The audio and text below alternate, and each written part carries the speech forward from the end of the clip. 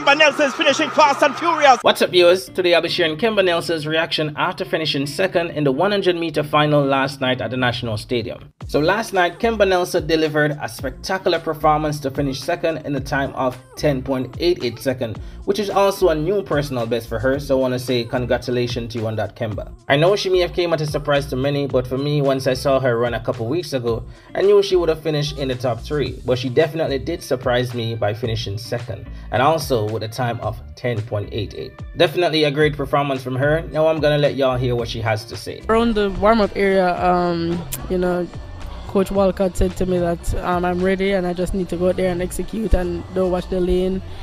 Talking to the therapist, they always tell me don't watch the lane. So you know, I was like, mm, lane eight, probably don't want that. But you know, everybody's running in a straight line, and um, it doesn't matter. It's just about execution, and um, I think I did that out of lane eight today.